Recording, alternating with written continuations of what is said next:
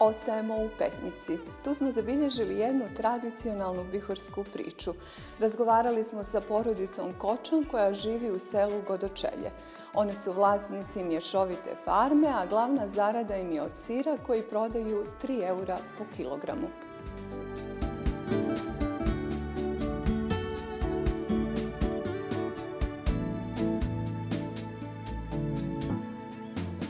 Selo Godočelje nalazi se na nadmorskoj visini od oko 650 metara. Idealno je za stočarstvo i obradu zemlje, no radovi ove godine zbog vremenskih uslova kasne.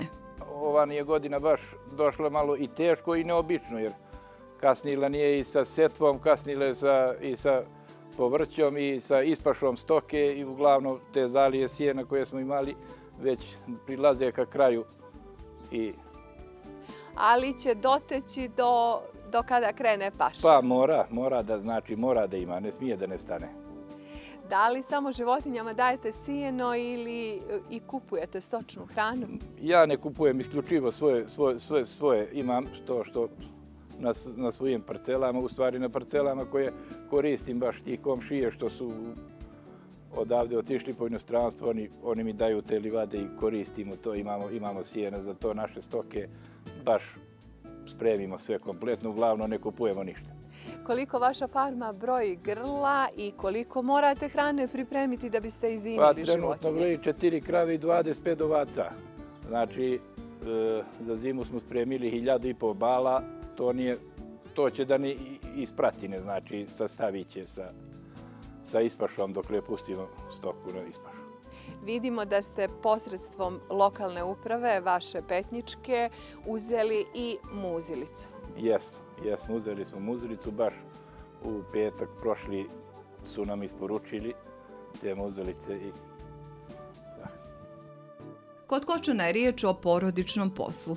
U poljoprivredi naš sagovornik vidi osnovni izvor prihoda, sve ostalo smatra dodatnom zaradom radimo svi kako je ko slobodan, priskačemo u pomoć jedno drugome i onda malo dopunjavamo se i s drugim, znači malo građevina, malo i tako dopunjavamo su slobodno vrijeme. Vidimo da ste napravili odličan objekat koji zadovoljava sve standarde za proizvodnju sira da biste aplicirali za premije. Pa jeste, upravo sad, evo, završili smo ga prije neki dan, tako da će da, će da dođe komisija. Rekli su da, da vide da primeta objekat i za premiju, da predamo za premiju.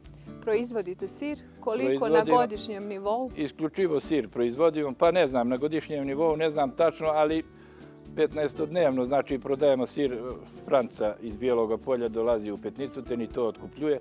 Nekih od 60 do 70 kila 15-dnevno sira prodajemo i tako.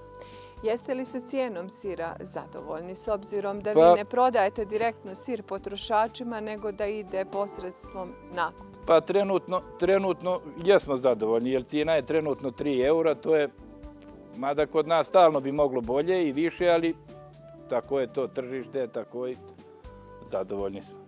Da li držite rasna grla i prodajete li i meso? Pa meso telat, telat prodajemo. Rasna jesu pola nekih rasni, dvije krave su rasne, dvije su ove nije su, ali isto su dobre krave koje se uklapaju visokolitražne su. Kako gledate na uslove u današnjoj crnogorskoj poljoprivredi? Je li danas bolje nego ranije? Pa bolje je, puno je bolje. Znači bolje je neizmerivo je bolje. Sad je, sad je već mehanizacija, putevi, voda, struja, sve to, sve to bolje i tako da je bolje, bolje neuporedivo bolje. Da li ste zadovoljni upravo sa infrastrukturom u vašem selu? Pa zadovoljno sam, kao što ste vidjeli, znači imamo dosta solidne puteve, imamo vode, imamo dovoljno struje, imamo ovako drugo ne bi. Stalno treba, nešto stalno treba, ali zadovoljni smo. Posjedujete li mehanizaciju? Šta sve imate od mehanizacije? Imam, imam gotovo sve od mehanizacije. Imam traktor, dvije prikolice, kosačicu rotacijonu, kosačicu IMT 407 ručnu, imamo grabulju, imamo sve to što ni treba, imamo. Da li je vaš i plastenik? Jeste, jeste. To smo aplicirali isto prošle godine, to je opština Petnica ni dala, plastenik, normalno uzdu češće, naše i plastenik. Vremenski uslovi, kaže naš sagovornik, odrazili su se ove godine i na plasteničku proizvodnju. Upravo smo trebali već da su, ja mislim po mome da su trebali paradajsi i krastavice da su već posađene ili zbog, zbog te studije i toga snijega kasnije. Znači nije su više zime ni kao što su bile da površice i ta dugo trajanja snijega nije. Znači pane ali neki 10-15 dana kao što je, ste vidjeli jutros, možda ste ga zatekli, jutros je bio obijelio ovdje kod nas, upravo je bio sigurno 5 centi, ali evo sad ga nema. U grijalu nije sunce.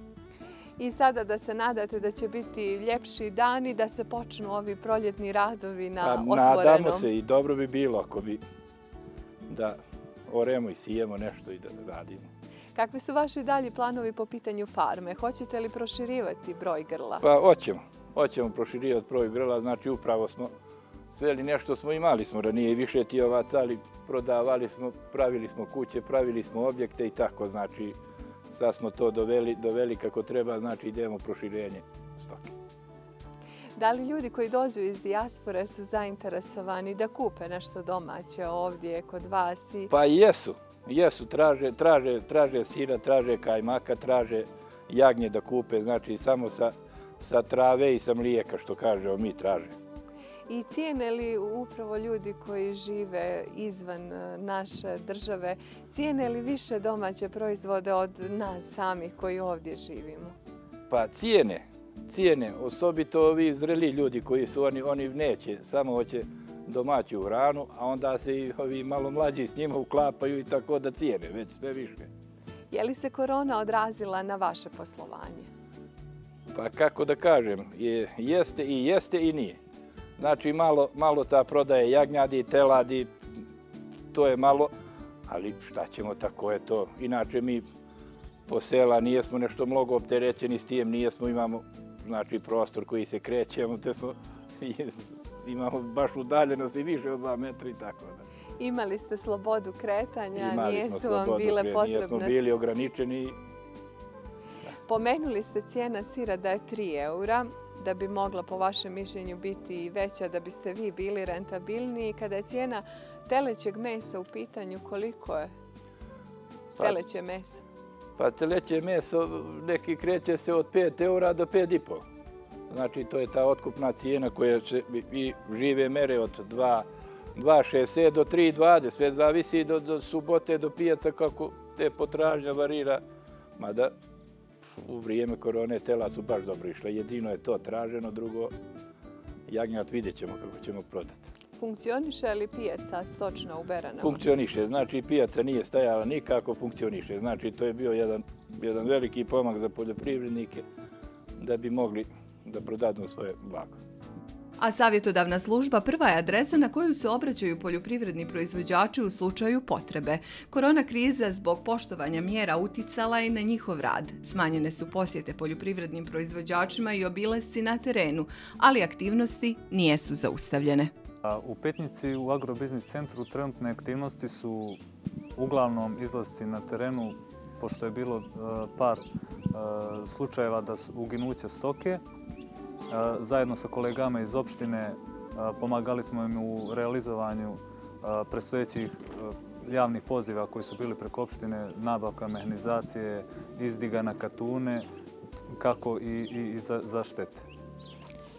Naravno, kao i kolege iz opštine, svi smo, kao i naši poljoprivrednici, u iščekivanju smo usvajanja budžeta na nacionalnom nivou, kao i agrobudžeta. Jer trenutno su nam ruke vezane, e, ne možemo ništa da radimo, ne možemo ni jedan javni poziv da realizujemo. E, poljoprivrednici dolaze kod nas, e, izjašnjavaju se po kom javnom pozivu su zainteresovani. Mi svakodnevno vršimo evidenciju, upisujemo ko je za koji javni poziv zainteresovan i naravno kada su svoj agrobudžet kontaktirat ćemo svakog pojedinačno i obaveštavati kada budu javni pozivi u toku.